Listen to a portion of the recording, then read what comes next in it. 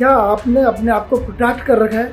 किससे प्रोटेक्ट कर रखा है? मुझे पता चला कि 70 percent of our worries are because of money हमें सीखना चाहिए कि how to spend money wisely B ये चैनल हमने खास तौर पर भारत देश के लाखों फाइनेंशियल एडवाइजर्स के लिए बनाया है।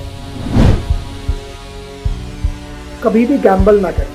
जो चीज़ आपके कंट्रोल के बाहर हो आप प्लीज़ उसको एक्सेप्ट करिए और अपनी वरीज को कम करिए। अगर आप एक फाइनेंशियल एडवाइजर हैं तो आपको बी के साथ ज़रूर जुड़ना चाहिए।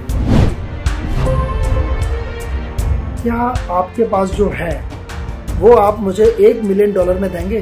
फॉर एग्ज़ाम्पल आपके पास अगर आँखें हैं तो क्या आप उनको एक मिलियन डॉलर में सेल कर सकते हैं?